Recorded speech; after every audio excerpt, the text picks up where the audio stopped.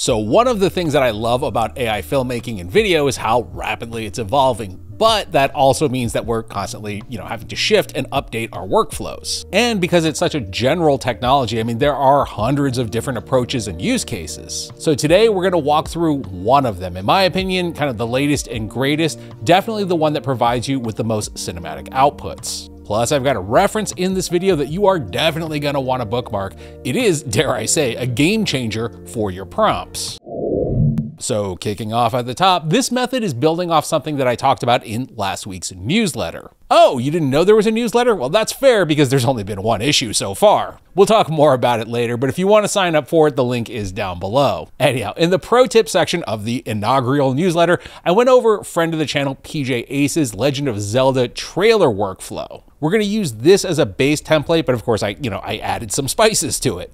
I think that's important to note. Like, I'm not Columbusing anything here. We're all building off of each other's work and discoveries. Learn something, tweak it, share it. There's no point in hoarding information because, well, frankly, a year from now, even this method is going to be outdated. The next important thing before we fully dive in, there are, of course, a few ingredients that we're using here. The main big one being Nano Banana Pro. This is a wholly image to video workflow. And finally, I'm going to be presenting this whole thing over on Flora. You don't have to use Flora. You can use anything that you want to accomplish this. I'm just using Flora for, well, three reasons. One, I like it. Two, I had a bunch of credits there. And three, well, I mean, it is the murder board, which look, I know not all of you love the node-based murder boards, but in this case, I actually think it really works well to visually show you the workflow. To be clear, this video is not sponsored by Flora. In fact, they don't even know that I'm making this, so I say what I want. So moving on to the main course. You guys know that I like to put together a little proof of concepts for these tutorials. Uh, so let's go check in with Captain Renfield in his latest adventure on the high seas. Man the cannons! We're gonna die! Follow the orders! It's too late, Captain! Ship is going down.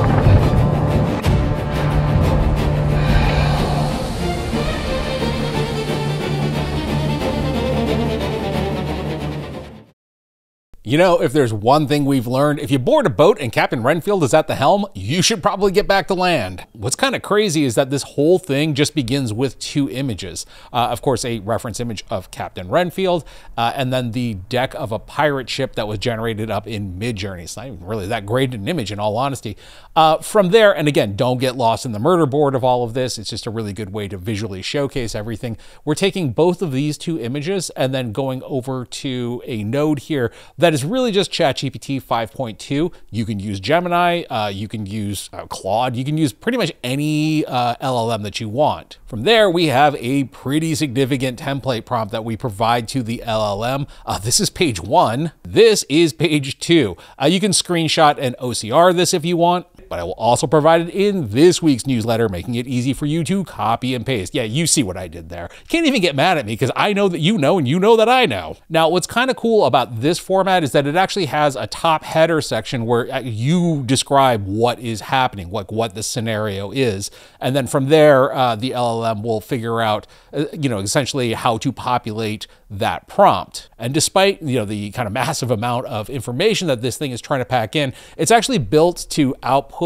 um, you know, prompts around 2,800 characters. What I've discovered, particularly with Nano Banana Pro, when you start bumping up that character or token limit, well, that's where you start running into problems. We'll take a look at that a little later on. So now that we have our LLM buddy essentially filling in our crazy long prompts, and to note, uh, because each one of these frames actually has its own description in it, you can go through and change them if you want to. Uh, obviously from there, we just plug that along with our reference images, that is very important, uh, over to Nano Banana. Now, one of the things that I think uh, makes this extra cinematic is by utilizing Nano Banana Pro in a 21 by 9 format. Uh, for some reason, this is mostly available via API for whatever reason. Even on Flow, which is Google's filmmaking platform, uh, we're still limited to 16 by 9. That said, you can generally find a 21.9 option on any of the majors. Uh, obviously here on Flora, uh, over on Freepik, Leonardo has it, Recraft has it. Um, so yeah, basically like anywhere outside of Google, you have a native 21.9 option.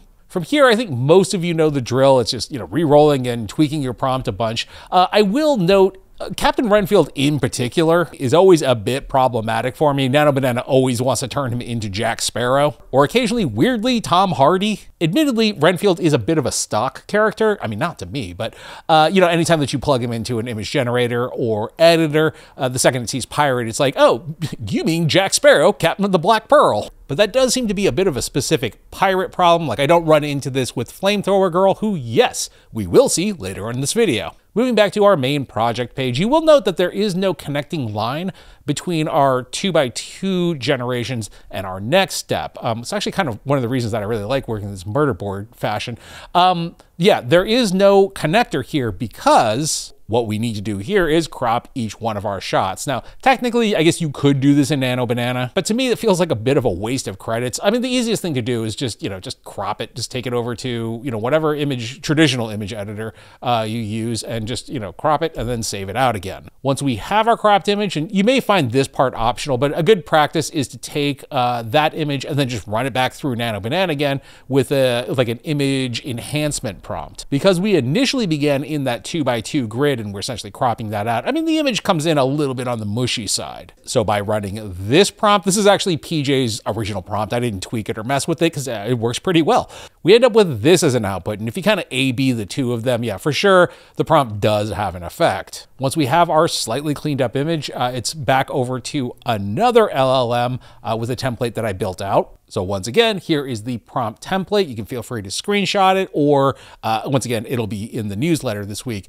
Uh, again, the important part here is that we do have a user input section where we can describe what action we want to have taken, and then additionally, dialogue as well if the video model supports dialogue. From there, you take that output prompt and bring it into, well, I mean, to be honest, any video generator that you want. I've been using Kling 2.6 a lot more lately. Um, I think it's a very good um, has a lot of great motion. And interestingly, I, although not officially outputting at 21.9, if you give it a 21 by 9 image, it will respect that aspect ratio. I do feel the need to point out that no matter how tight your prompt template is or how tight your prompt is, like it's still image to video. You're still gonna get some like weird wonky results. Uh, for example, here's three shots that I put together for like a quick flamethrower girl example. And our middle shot where I just wanted her to smile at the thought of the oncoming battle, well, I mean, she goes like full on Hulk mode here. That said, tweaking the prompt and a couple of re-rolls, well, we ended up with this.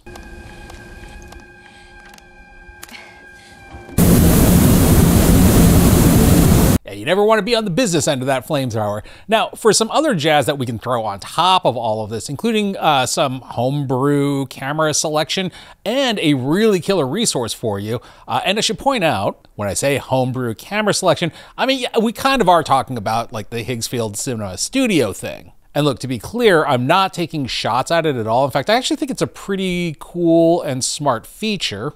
But I'm also like 99% sure that this is, uh, you know, it's a very nice and pretty interface that essentially is triggering a nano banana prompt. Again, not taking anything away from it. I actually think it's a pretty smart feature, but do keep in mind that Nano Banana Pro or really any image generator isn't giving you a like full accurate representation of the lens, camera, f-stops, etc. Uh, these are just keywords that are getting you into the ballpark. For example, friend of the channel, Giogara gives us this image, which was prompted with the presets of an Arri Alexa 35 millimeter, uh, a Hawk 5 uh, anamorphic lens, uh, 50 millimeter, now, it just so happens that he's actually used that exact same setup, and this is a screenshot from, well, the, the real version of that rig. And again, not that there's like anything necessarily wrong about uh, the generated output. So again, what this really is is more of a ballpark than anything. Uh, you know, the plus side is that once you understand that conceptually, you can go into even more obscure or personalized directions if you want. For example, revisiting our initial base 2x2 prompt with Flamethrower Girl and, well, this Midjourney generated Hangar Bay, uh, we end up with this. And again, this is just the base template. Um, I did cut it together, so let's take a quick look at the eight seconds that I got out of three of these shots.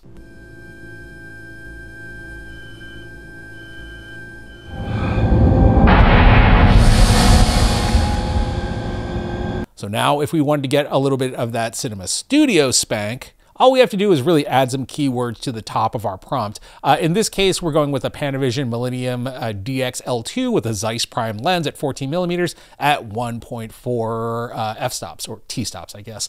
Um, and as we can see, I mean, yeah, there is definitely a difference between our base prompt and this. Um, it definitely gets that 14 millimeter look here, kind of loses it in some other spots. Um, f1.4, sure, maybe. I mean, yeah, again, ballpark. Swapping out for an IMAX camera with, once again, the uh, Hawk 5 anamorphic lens, uh, this time at f11. Yeah, I mean, I think it definitely does show that it, it it's listening, it's making a difference. The framing here is different. It definitely looks more, much more like, like IMAX framing. What's great about doing it manually and not with the preset is, well, I mean, you can do anything. For example, like an early 2000s Sony VFX 1000 uh, DV cam with a fisheye. This is the uh, skater video weapon of choice.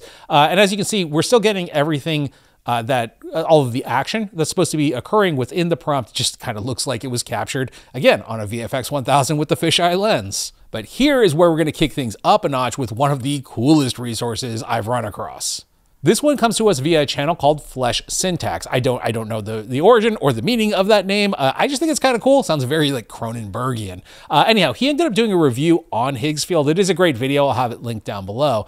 And in that video, well, he introduced me to a site called ShotDeck. And oh man, it's great. So this is a crazy packed resource of technical information on like thousands of films and like hundreds of shots in those films. So uh, this is, well, this is from Sinners, but if you click into any shot, man, is it packed with information. I mean, everything from the film stock, the lens, the camera, um, frame size, shot type. I mean, like, again, I mean, you can read, it's all there.